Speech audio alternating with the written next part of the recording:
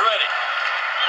The 1-1 to Nix. He swings and he pops it up on the right side. Yeah! Fielder calling for it, and he makes the catch.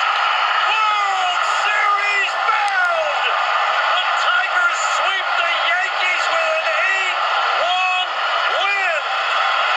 Boy, this is special for the Tiger fans. Mr. Ilitch, Mike Ilitch, wants this championship so bad. The Tigers become just the third team in baseball history to sweep the Yankees in a best of seven series. Incredible pitching.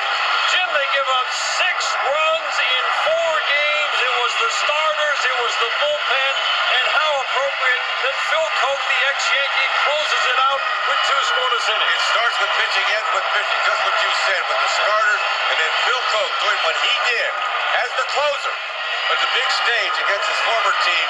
What a special thing. But to watch these players out in the field, I'll tell you, from a player